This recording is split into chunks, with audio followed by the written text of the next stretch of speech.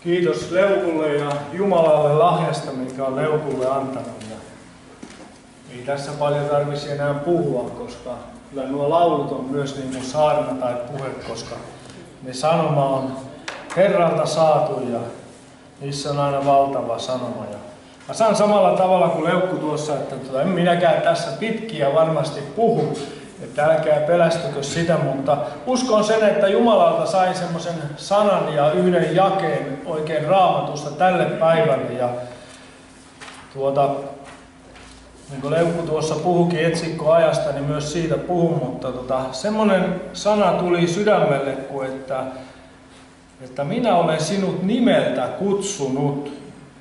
Jeesus tuntee sinutkin nimeltä, jokaisen täällä tänään tuntee meistä tänään jokaisen ja tietää meidän mielemme ja tietää meidän sydämemme ja ajatukset ja kaikki mitä meidän mielessämme on.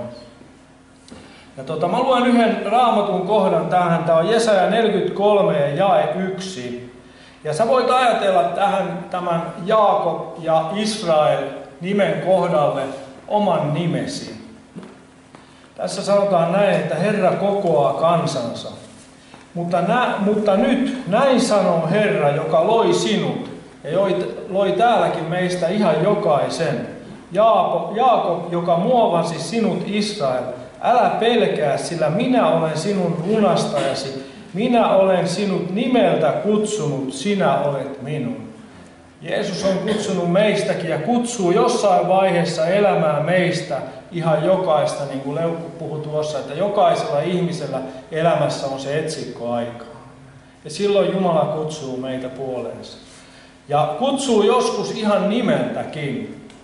Oli semmoinen tilanne, että mä on nyt ollut noin kymmenen vuotta uskossa ja vaimo Helena, joka tuossa soitteli pienoa, niin tuli seitsemän kuukautta mua ennen uskoa ja tota, hän sitten rupesi ahkerasti rukoilemaan mun puolesta ja kutsui mua kokouksiin ja mä sanoin, että varmasti tuu. Mulla rupesi olemaan se etsikkoaika itsellä ja mä pelkäsin lähteä kokoukseen. Tiedättekö minkä takia? Mä pelkäsin, että mä tuun uskoon. Eli joku sisimmässä kuitenkin pisti vastaan, vaikka mä tunsin, että Jumala vetää puolensa ja mä taistelin sitä kutsua vastaan, mutta sitten kerran päätin lähteä semmoiseen kokoukseen, kun tässä Kankaan päässä oli tuossa lukion koululla. Siellä oli siellä liikuntasalissa semmoinen tilaisuus, missä oli sitten semmoinen puhuja, joka on ollut semmoinen, voisi sanoa sieltä alamaailmasta se kaveri, joka on ollut vankilassa ja kaikessa. Ja tota, sitten hän rupeaa puhumaan vankikaverista, jonka nimi oli Oskari.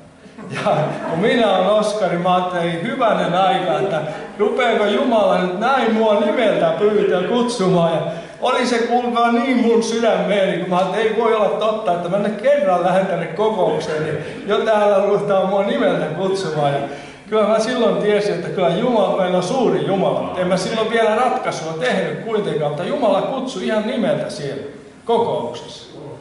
Sitten on toinen semmoinen todistus omasta itse, isästä, joka sairasti vakavaa sairautta, joka sitten veiki isän tämmöinen aalesairaus, joka vie kaikki tahdonalaiset lihakset ja tota, sillä että järki kuitenkin päässä säilyy. Ja samalla tavalla sitten tuota Helena ja muista sitten, olinko itse jo silloin uskossa, mutta Helena nyt ainakin oli. Ja tota, meillä on aina kesäisin tuossa lukion Montulla telttakokoukset. Ja tota, me saatiin isä sinne sitten mukaan houkuteltua ja taisi olla Helena, joka houkutteli, mutta kuitenkin. Ja tuota, isä oli silloin jo pyörätuolissa tota, ja ei pystynyt enää itse kävelemään eikä mitään. Ja siellä oli vieraileva puhuja ja hän rupesi kertomaan todistusta yhdestä miehestä, joka tuli uskoon ja sen nimi oli Pekka. Ja mun isäni nimi oli Pekka. Ja tämä saarnamies, kun se rupesi kertomaan Pekasta, niin oman isän silmistä rupesi kyyneleet valmaa ja mä näin isän päältä, että nyt Jumala kutsuu. Ja tiedättekö, kiitos Jumalalle, isäkin sai tulla uskoon ennen kuin tästä ajasta lähti. Hänellä ei ollut enää kykyä sanoa suullansa, että koska puhekykykin meni, mutta hän kun häneltä kysyttiin, että haluatko sinäkin antaa elämässä Jeesukselle, hän nikkaa silmiä ja itkee siinä. Ja se oli merkkinä meille, että hänkin halusi antaa elämänsä Jeesukselle. Ja niin kutsuttiin siinäkin kokouksessa Pekkaa nimeltä. Sitten toin vielä kolmas tällainen kertomus on se, että kuuntelin tuossa Paavo Järvisen jotakin puhetta. Hän on tämmöinen tunnettu suomalainen saarnamies ja hän kertoi sitten, että hänellä kanssa elämä oli sitä, että hän paljon kaljotteli ja kaikkia ja tota, oli yksityisyrittäjänä. Ja, mutta hänelle tuli semmoinen Jumalan kutsu, se etsikkoaika. Ja hän rupesi miettimään, että onko Jumala olemassa. Ja hän oli sitten tuota, niin sitä miettinyt ja näin ja sanonut työkavereillekin jotenkin näin, että ei Jumala ole olemassa, koska ei hän, Jumala ei minulle mitenkään ilmestynyt. Ja sitten hän oli sitten joku ehtoo siinä kaljotellut viikon lopun ja tuota, päätti sitten, että illalla lähtee hakemaan vielä kalja, saunakas, tai kaljakassin tuota, ja saunakaljoiksi. Ja oli sitten astunut siinä, kun meni niitä kaljoja hakemaan sen kuralätäkköön. Ja no ei se ollut häntä enempää kiinnittänyt, mutta kengät meni kuraseksi. Ja hän oli sitten seuraavana aamuna päättänyt, hänellä oli krapula ja tuota, hän päätti, että hän lähtee Helsingin Saalemiin ja katsoo, että onko se Jumala olemassa. Hän meni sinne kokoukseen ja sanoi, että ei laulut koskettanut, ei koskettanut puheet eikä mitkään. Ja hän ajatteli, että Jumalaa ei ole olemassa. Kun hän lähti tänne tulemaan sillä mielellä, että onko Jumala olemassa. Se kokous oli päättynyt jo näin, niin sieltä yksi sisar nousee ylös ja tulee tänne pöntön taakse näin, rupeaa puhumaan kielillä ja hän siinä sanoi humorisesti, että hän ajatteli, että alkaakohan täällä venäjänkielinen kokous, että nyt tästä tulikin pitkä tilaisuus. Mutta tämä nainen puhuu kielillä ja sitten hän alkaa puhumaan suomeksi sitä, minkä hän sai Jumalalta.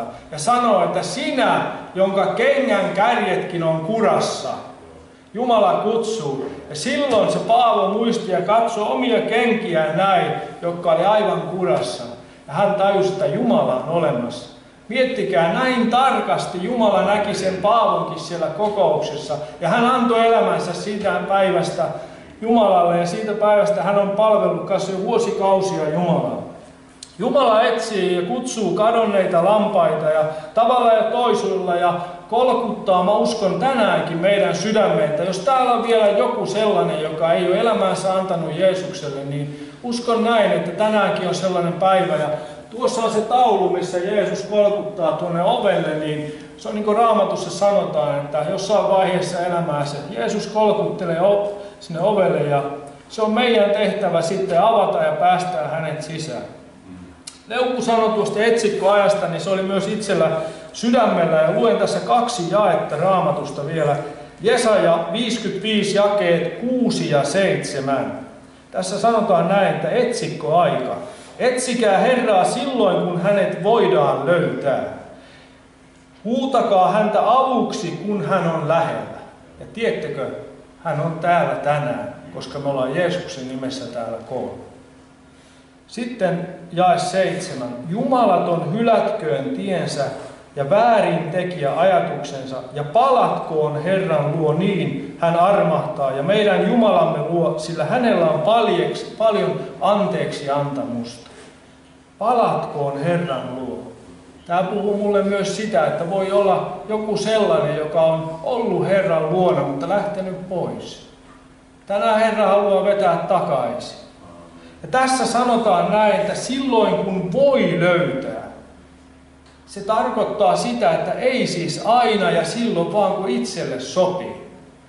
Monesti me ajattelemme, että ehkä mä sitten annan elämäni Herralle kun. Mä oon jo vanha tai näin, mä oon saanut elää tätä elämää ja hurvitella tuolla ja sä ajattelet, että mä nyt vielä, että mä siirrän sitä eteenpäin. Mutta ei se mene niin. Raamattu sanoo, että silloin kun hänet voidaan löytää, eli kun on se oma etsikko aika elämässä. Ja Raamattu sanoo myös niin, että ei kukaan voi tulla, jos ei isä itse vedä. Ja se valinta on itsellä ja monesti me puntaroidaan niitä kustannuksia niin sanotusti. Itekin mä mietin sitä, että mitä mä menetän elämässä, että meneeköhän multa kaikki ilo elämässä, ei pysty enää juhlimaan ja mitä työkaverit sanoo, että nyt silloin on psyyke pettänyt ihan lopullisesti, mitenkä kaverit ja kaikki tällaisia ajatuksia se vihollinen, silloin vihollinen yrittää meille laittaa. Mutta mäkin voin sanoa, niin kuin Leukku sanoi, että en ole päivääkään katunut siitä, kun on elämäni saanut antaa Jeesuksen. Mä uskon, että täälläkin kaikki me, jotka uskossa ollaan, niin voidaan tähän yhtyä. Jumala puhuu vielä sellaisesta, tässä joku kerta oli sellainen tilaisuus, missä käytiin, käytiin tuota, ja siellä pyydettiin muutama sana sanoa, ja silloin Jumala puhui tästä asiasta, ja mä koin, että mä sanon sen saman asian tässä. Jumala puhuu sellaista juna-asemasta ja junamatkasta. Ja jokainen meistä tietää, että se juna tulee tiettynä aikana ja tiettyyn paikkaan. Ja meidän pitää mennä sinne tietyllä aikana ja tietylle paikalle, vaikka Parkanon asema on tässä lähin, mihinkä pitää sitten mennä, jos meinaa siihen junaan nousta. Ja se on vähän sama kuin tämä kutsu. Ja jos meinaat päästä perille, sinun on noustava siihen kyytiin, siihen junan kyytiin. Ja sitten Jumala puhuu sellaisesta, että jos me ei nousta siihen junaan, niin se etsikkoaika on vähän samalla tavalla kuin sä olisit siinä asemalla, ja sä et olisi noussut siihen junaan. Ja se juna lähtee pikkuhiljaa, ennen vanhaa se kolkutteli höyryveturi, lähti menee eteenpäin. Ja pikkuhiljaa se menee kauemmaksi ja kauemmaksi. Jumala puhuu mulle, että samalla tavalla se etsikkoaikakin lähtee menemään pois. Eli jos et sä mene silloin, kun sulla on se etsikkoaika ja lähde siihen kyytiin, niin pikkuhiljaa se lipuu kauemmaksi ja kauemmaksi ja pikkuhiljaa se on niin kaukana, että et sinä enää näekään sitä. Eikä sulla enää mahdollisuutta mennä siihen kyytiin. Ja toinen, mitä Jumala puhuu tästä junamatkasta, on se, että kun sä oot noussut siihen junaan, mä tarkoitan täällä nyt sitä, että sä oot elämäsi antanut Jeesukselle, niin se on se, että siitä junasta ei saa hypätä kesken matkan pois. Jos sä meinaat päästä joskus perille, se iän kaikkisuuteen, taivaaseen, mikä raamattu lupaa, niin me ei voida lähteä siitä junasta pois. Silloin me ei päästä sinne perille. Ja tiedättekö, mikä siinä on kaikista vaarallisinta on se, että ei välttämättä tuu enää sitä seuraavaa junaa. Koska on tietty määrä niitä etsikkoaikoja ihmisellä. Ja ajattelette semmoista ajatustakin, että olisitte yksin tuolla pimeässä Parkanon asemalla ja odottaisitte sitä junaa, mutta sitä ei vain kuulu. Niin kyllä voi olla ihmisille tulla hätä.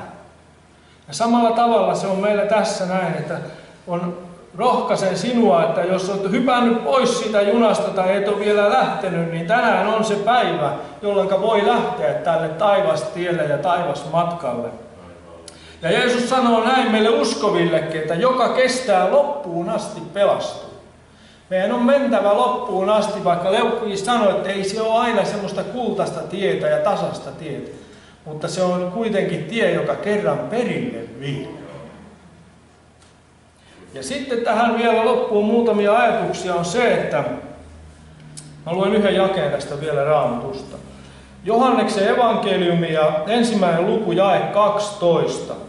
Mutta kaikille, jotka ottivat hänet vastaan, eli Jeesuksen vastaan, hän antoi oikeuden, ja sitten täällä sanotaan vallan tai voiman. Ehkä tässä tilaisuudessa, mitä mä ajattelen, niin antaa voiman tulla Jumalan lapsiksi niille, jotka uskovat hänen nimeensä. Eli Jumala antaa voiman meille tulla tälle tielle ja Jumalan lapseksi. Ja monesti ihmisillä, kun itsekin on keskustellut, niin tota, voi olla semmoisia ajatuksia, että mä voi lähteä vielä tälle taivastielle antaa elämääni Jeesukselle, koska tota, mulla on semmoisia asioita, mitä musta, mun pitäisi päästä eroon ja vapaaksi sellaisista asioista ja parantaa tapoja ja laittaa niin elämäänsä kuntoon jo etukäteen. Mutta ei se niin mene. Me saadaan tulla syntisenä Jumalan luo, niin kuin täällä kuulimme, me saamme syntimme anteeksi. Ei meidän tarvitse yrittää etukäteen parantaa tapojamme, jossa mietit, että mä oon vielä kiinni tuossa asiassa ja mä oon tuossa asiassa ja pitää, miten mä selviän taloudellisesti ja mitä ihme ajatuksia ihmiselläkin on.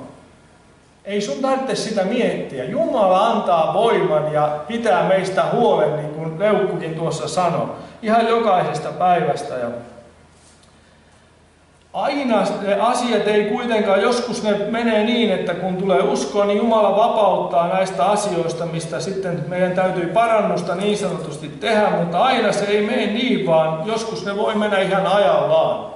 Ja mä sanon semmoisena niin kuin kevennyksenä tähän, kun kuuntelin kerran semmoista evankelista miestä, joka oli tullut uskoon ja tämäkin oli ollut sellainen katujen kaveri aikaisemmin ja tota, touhannut kaikkia pahuuksia ja muita ja tota, hän tuli uskoon ja hänestä tuli tämmöinen evankelista niin kuin leukustakin, että hän kierteli tuolla eri paikassa ja puhumassa ja todistamassa ja hän kuljeskeli siellä sitten omalla autollaan ja tota, meni siellä pitkin poikin ja joku kerta kun hän menee siellä, niin Jumala sanoi, että pitäisikö sun kuule hommata ajokortti? että mitä Juhakin poliisina sanoi, että ehkä se näin on. Mutta ei hänellä ollut tullut mieleenkään se, kun hän oli semmoisesta maailmasta tullut, hän on ajanut koko ikänsä ilman ajokorttia. Ja niin hän päästeli kuulkaa evankeliumin matkojakin, mutta sitten Jumala joku kerta sanoi, että pitäisikö hommata kuule se ajokorttikin. Ja niin hän sitten teki parannusta ja meni ja ajoi sen ajokortin. Ei ne kaikki aina me tällä tavalla noin, että niksi ja naks ja kaikki tulee kuntoon. Mutta tota, joskus sitten kuitenkin on niin, että Jumala ihmeellisellä tavalla vapauttaa sellaisista asioista, missä me olemme kiinni. Ihan tässä vähän aika sitten kuuntelin todistusta semmoisesta naisesta tuolta Lahdesta. Ja hän oli tuota 12-vuotiaana alkanut käyttää huumeita ja käyttänyt 40 vuotta kovia suonen sisäisiä huumeita, erilaisia kaiken näköisiä. Ja miettikää, 17 ja puoli vuotta ollut vankiloissa, naisihminen, ja kaikki väkivalta rikoksia. Pahoinpitelyjä, tapon yrityksiä ja muita. Aika, aika raju tausta naisihmiselle. Ja hän oli tosiaan 40 vuotta, eli vähän yli 50-vuotias ollut sitten, ja Jumala oli sitten hänelle joku kerta puhunut, että siellä helluntai-seurakunnassa hänen paikkakunnalla oli tämmöinen ruoka-apujakoja, missä jaetaan leipää ja näin niin kuin meilläkin on täällä. Ja Jumala puhui tälle naiselle, että mene sinne leipäjakoon. Mutta sitten hän ajatteli, että hän ei mene sinne. Hän itse siinä sanoi, että hänellä oli semmoisen romaninaisen kanssa ollut jotain, hän oli aiheuttanut tota, heille jotain semmoisia vahinkoa ja sellaista, että oli tullut hän riitaa ja hän ajatteli, että hän voi mennä sinne, kun hän tietää, että se nainen on siellä. Mutta kuitenkin hän ei saanut siitä vappaaksi itseensä, vaan Jumala puhui, että mene sinne. Ja kun hän meni sinne tilaisuuteen, sinne helluntai-seurakuntaan, niin tämä romani nainen oli heti siinä ovella ollut pian ottamassa vastaan. Ja tämä nainen oli sanonut sitten, että voisiko hän saada anteeksi niitä, mitä hän on teidän porukalle tehnyt. Ja tämä romani nainen oli sanonut, että totta kai hän antaa kaikki anteeksi. Oli rukoillut ja siunannut tämän naisen puolesta. Ja hän oli mennyt sinne tilaisuuteen ja seuraavana päivänä tämä seurakunnan pastori oli pyytänyt tulla tämän naisen luokse ja hän oli mennyt tämän naisen kotiin. Ja siellä hän oli kuulkaa polvistunut ja hän oli siunannut taivas tielle, taivas matkalle tämän naisen. Ja miettikää, 40 vuotta kovia huumeita. Ei ensimmäistäkään vierotusoiretta. Hän vapautui huumeista. Hän käytti yhdeksää eri unilääkettä. Ja hän oli illalla yhtäkkiä nukahtanut ja heräsi aamulla. Ja hän ihmetteli, että hyvänen aika. Hän on nukkunut koko yön, eikä hän ottanut ensimmäistäkään pilleriä, eikä tähänkään päivään mennessä. Se on Jumalan ihme, mikä Jumala voi tehdä myös näin, että tämmöinenkin ihminen vapautuu kerrasta. Ehkä se oli niin raju, raju elämä, että Jumalan täytyykin näyttää hänelle, että hän on todellakin elämä, tai olemassa. Ja näin Jumala voi meitäkin vapauttaa sellaisista asioista, mikä meitä vielä sitoo. Kaikillahan meillä on sellaisia asioita, mikä tota, yrittää meitä kahlita ja toisella on heikompi kohta toinen ja toisilla toinen. Meillä uskovillakin. Ei se vihollinen meitä vapaaksi jätä sillä tavalla, etteikö se pyörisi, niin kuin sana sanoo, meidän jokaisen ympärillä. Kenekkä se saisi omakseen. Mutta meidän pitää vastustaa niitä. Jumala antaa sen voiman, niin kuin tämä sana sanoi. Ei meissä itsessä sitä voimaa ole vastustaa, mutta Jumala antaa sen voiman, kun laitamme kaiken turva häneen. Sitten mä lopetan tähän ihan, kuunnellaan vielä sitten vielä leukulaulujakin ja yhteen raamatun kohtaan, mikä itsellä on ollut alusta lähtien, kun uskoon tulin semmoinen lempijakeita. Ehkä siitäkin syystä, että on itsellä urheilutaustaa ja ollut sellainen vähän, että on tuolla kilpailuja ja näin, niin tota, tässä puhutaan kilpailusta. Tämä on toinen kirje Timo Teukselle, neljäs luku, missä sitten Paavali antaa ohjeita Timoteukselle, tälle nuorelle uskovalle, joka tulee jatkamaan hänen, hänen työtään, koska niin kuin sanoin, että se matka, mikä joskus alkaa meillä, ja se on meillä jokaisella on kuitenkin se matka, tämä elämä on tietty matka, mikä meillä on annettu. Ja Jumala tietää meidän päiviemme määrän, ja tässä Paavali tiesi, että hänen oma tämä matkan tekonsa on päättymässä. Ja tässä sanotaan näin, että Paavali kertoo, että minut jo uhrataan, lähtöni hetki on tullut. Eli Paavali aavisti, että hänellä ei enää paljon aikaa ole. Olen kilpailut hyvän kilpailun, juoksun päättänyt ja uskon säilyttänyt. Niin tämä on mulle sellainen jae, mitä mä oon itselleni ottanut, että voi osku, että silloin kun sun matkasi päättyy, niin mä voisin sanoa, että mä oon kilpailu hyvän kilpailun. Ja mikä on tärkein, uskon säilyttänyt. Koska se on ainut, mikä ratkaisee. Niin kuin Leukku sanoi, että ei se kuka meitä täältä saattaa, vaan se kuka meitä siellä vastassa on. Ja vielä yksi jää. Tästä edes on minulle talletuttana vanhurskauden seppele, jonka Herra oikeudenmukainen tuomari antaa minulle sinä päivänä, eikä ainoastaan minulle, vaan myös kaikille, jotka rakastavat hänen ilmestymistään. Mä uskon näin, että tänä päivänäkin Jumala haluaa täällä kutsua meitä tälle taivasmatkalle ja koputtelee meidän sydämiimme. Ja se on vähän niin kuin tuossa oli se kuva, kun on Jeesus siellä järven rannalla. Niin mietitään sitä Pietariakin, joka kielsi Jeesuksen. Niin se, minkälainen mieli Jeesuksella on kuitenkin meitä ihmislapsia. Itse me ajateltaisiin monesti varmaan, kun me oltaisiin kohdattu Pietari, me ruvettaisiin kysyä heti, että Pietari, mitä sä teit? Sä kielsit mua. Mutta miten Jeesus otti vastaan niitä miehiä, jotka oli lähtenyt kalaan? Hän oli tehnyt aamupalan siellä nuotiolla valmiiksi ja kysyi, että onko teillä nälkä? Ja tällä tavalla Jeesus kutsuu meitäkin tänä päivänä täällä. Ja jos joku on täällä sellainen, joka ei vielä taivasmatkalle ole lähtenyt, niin tänään on pelastuksen päivä. Tai jos joku on lähtenyt pois siitä junasta jossakin vaiheessa, niin mä uskon näin, että me ollaan nyt täällä pysäkillä. Ja nyt on mahdollisuus tänään hypätä takaisin siihen kyytiin. Ja iloita siitä, että saadaan olla taivasmatkalla. Se on valtava matka ja Jumala kutsuu meitä tänäkin päivänä puoleensa. Aamen. Menikö liian kauan? no hyvä. Mutta nyt me jatketaan kuitenkin tätä kokousta ja Leukku varmaan laulaa tässä vielä muutamia lauluja. Mutta mä avataan myös tässä semmoinen rukouspalvelu, eli jos joku kokee ja haluaa tulla alttarille, kertoa omia murheitaan, ei minulle, vaan Herralle, tai haluaa tehdä parannusta tai lähteä tälle taivasmatkalle, niin älä jää siihen pysäkille katsoon, kun ne junan valot lähtee meneen poispäin. Tänään on se pelastuksen päivä. Mutta mä omasta puolesta toivotan jo tässä vaiheessa teille kaikille taivaan isän siunausta ja Leukulle myös ja sun perheellesi. Ja kiitos, että tänään pääsit tänne, mutta vielä me saamme Leukkua kuulla. Ole hyvä.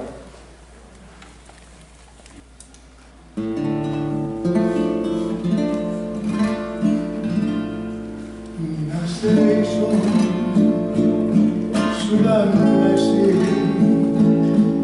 love.